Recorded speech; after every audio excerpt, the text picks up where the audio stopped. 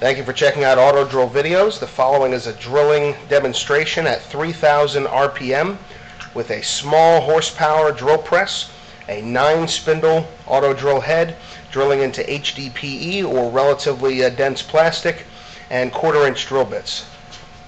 The drill press may or may not have enough horsepower for this process.